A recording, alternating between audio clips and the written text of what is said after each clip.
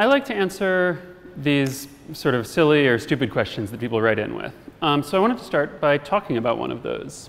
When I uh, started answering questions, one of the questions someone sent in was they wanted to know if, uh, if every person on Earth aimed a laser pointer at the moon at the same time, would it change color?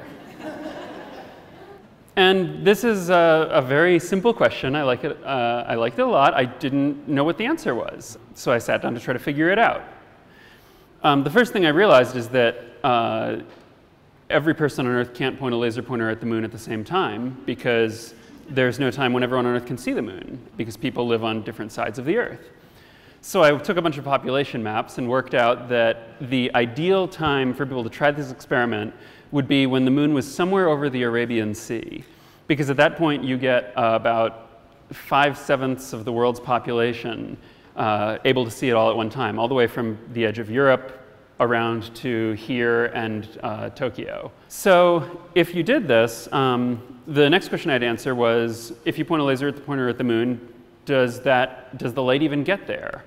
Um, and the answer is yes. I decided to use a quarter moon or a half moon uh, so that we could see the effect on the night side and the day side. Some of it's stopped by the air, but most of it goes right through to space, and they don't spread out so much that they wouldn't be able to hit the moon. Um, the beam would mostly uh, fall on the moon if you could aim it carefully enough. So let's assume that everyone sort of has a little stand to, to carefully line it up with. So then I say, okay, how much power is this? Now, a standard laser pointer has, for safety reasons, they're generally limited to 5 milliwatts, although if you actually run tests, I think a lot of them are somewhat more powerful than that. But they all say that they are 5 milliwatts. So we take the 5 billion people on Earth and give them each a 5 milliwatt laser pointer, um, and we point it at the moon.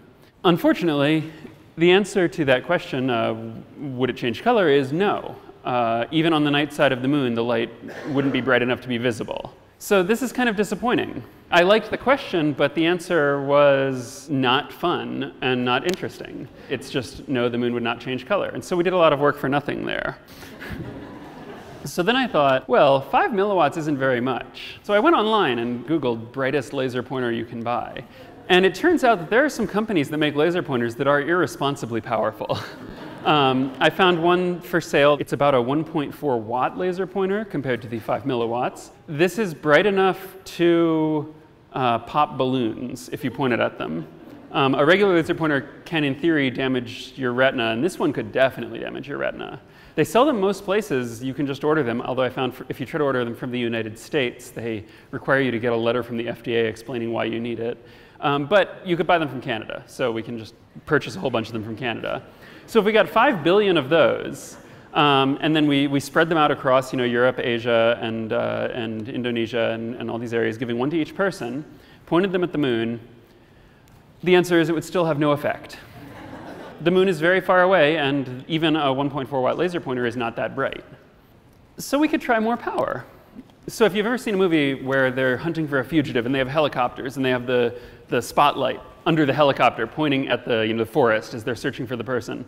Um, the brand for those, uh, there's a specific model that's very popular uh, of searchlight called a Nightsun.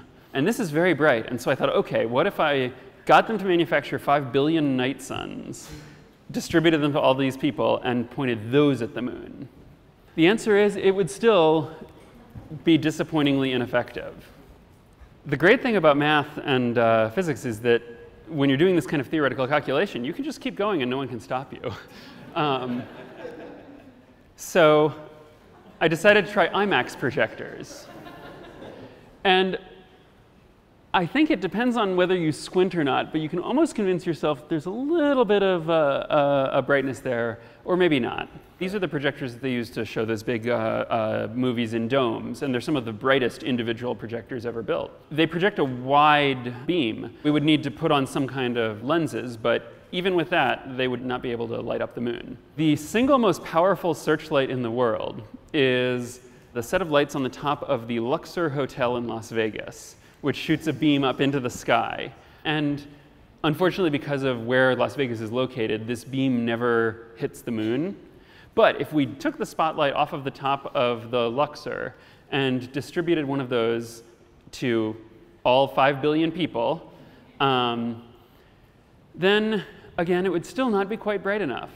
to get more power, we can try using beams to focus the, uh, the beams from the Luxor on the moon, and then we actually start to see a little bit of, uh, a little bit of lightness on the left side of the moon. Now, these would be fairly white light, but it would definitely change the appearance of the moon. And so we've answered the question, and we're done. but then I got curious. There's a project, a Boeing uh, project for the Department of Defense in the US to mount megawatt laser beams on aircraft to be used to shoot down missiles. And these are a lot more powerful than the, uh, than the even the Luxor spotlight. Um, and they can be used in, in theory to melt a missile mid-flight. And those are, by the way, I think infrared uh, lasers, but if we shift the frequency a little bit, we can pretend they're visible light.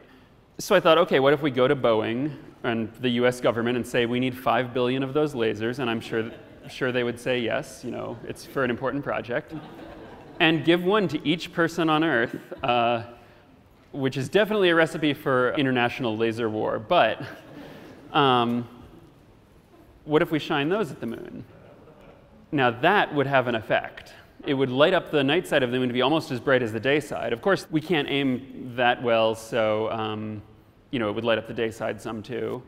But that would dramatically change the appearance of the moon.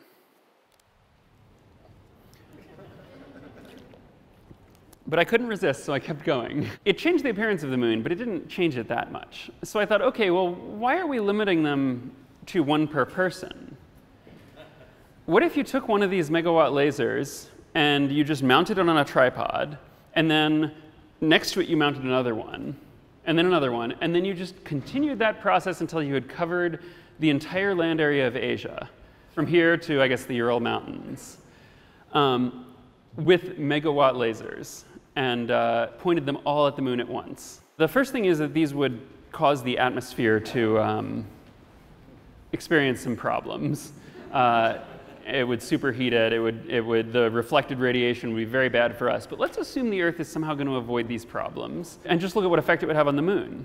Um, now, first of all, an array of laser pointers covering all of Asia, of these megawatt lasers, would require a lot of power. And in fact, I worked out they would drain the Earth's entire fossil fuel reserves in a span of two minutes. but the effect on the moon would be impressive. And by the end of those two minutes, the laser light shining on the moon would have actually heated the lunar regolith to a glow. So then even when the lasers turned off, the moon would still be extremely bright in our sky. Of course, we would probably have fires all around the globe and everything, so we wouldn't be able to appreciate that. But it would definitely have an effect and definitely answers the question. Um, but then I wanted to go one more step further. So the, uh, the single most powerful laser on Earth is the, uh, the lasers that are used uh, for the, at the National Ignition Facility in, uh, in the United States and they fire off pulses of laser light to try to confine atoms and uh, do fusion research.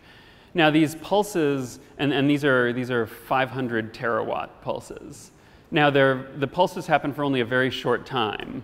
Um, so you can't just shine it at something. It's like, you know, nanoseconds. But if we somehow took this laser and, uh, and managed to make it so it could just fire continually, the 500, uh, 500 terawatts.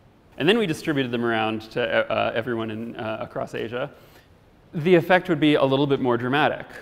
Um, first of all, we're going to have to again assume that the atmosphere somehow lets this light through without destroying us all. Um, but if that happens, and, and of course figure out we have some way to power these, the Earth would still be destroyed by the reflected light from the moon. but if we somehow shield ourselves from that, the effect on the moon would also be a lot more dramatic. Because instead of heating the lunar surface to a glow, um, this much power concentrated in one place would start to vaporize it at a speed that's measured in meters of uh, lunar surface depth per second. Um, and as, it, as they vaporized it, it would create this cloud of, of what would quickly become plasma, um, you know, that's the vaporized parts of the moon, which would then be blasted by the heat of the laser and the energy from the laser away from the moon. And this would actually function like uh, a little bit like a jet engine or uh, like a rocket, because as it, this plasma was blown away from the moon, it would push on the moon. Um, and this is a method, this, this sounds kind of silly, but this method uh, has been proposed for propelling spacecraft because it turns out it's a really efficient way to deliver energy to something is to vaporize the surface of it using a laser. Um, and so this is called laser ablation propulsion. Um, and in the case of the moon, this many um, completely unrealistically powerful lasers would start to push it gradually backward. And the moon is already drifting backward at the rate of you know, an inch or two per, per year or century or something. But this would move a lot faster. And over the course of uh, weeks or months, the moon would be pushed out away from the Earth's orbit and, uh, and then finally leave orbit and begin circling the sun with us. Of course, the Earth would be a fiery mess at that point, but we're going to pretend that, that the Earth has been somehow shielded from the effects of this. And the interesting thing is that then the, uh, the moon serves an important purpose. It stabilizes the Earth's axis. Our axis wobbles a little bit, but it mostly stays pointed in the same direction. Um, without the moon there, over millions of years, our uh, tilt becomes chaotic. Our axis points at the, at the sun or uh, you know, straight up, so we wouldn't have seasons. Or it would point toward the sun, so we would have six months of heat in the Arctic, um, and then six months of uh, heat in the Antarctic, and there, it would probably lead to the evaporation of the oceans or something. So the moon is really important. And also, as the moon is orbiting the sun, it would be in an orbit that would cross ours, since it started off at ours. So uh, at some point, probably the moon would hit the Earth uh, and, and wipe out all life if it somehow had managed to survive up until then. But I think that at that point, we can all agree that we would deserve it. so I really like answering these stupid questions, and I like taking this math and making it about real things, even if they're real but somewhat unrealistic things. Um, because I did a physics degree, and a lot of the time we like to reduce things and cut out the complexity and, and make things as abstract as possible until you know, we're just dealing with just equations. Um, and then we can solve the equations, and that can be really helpful.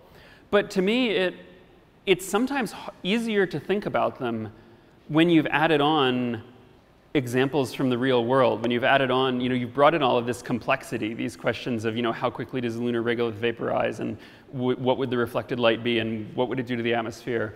Um, to think of, instead of just thinking of, of equations for photons and, you know, abstract cubes getting uh, burned away by lasers, making them about something that's more fun to think about and easier to imagine uh, can somehow make it more, more simple and more interesting. And I, I did a lot more laser light calculations answering this stupid question uh, than I did in my physics degree on the same subject. My advice for everyone would just be uh, don't be afraid of asking stupid questions, uh, and sometimes they can lead you to uh, a lot of fun places. Thank you.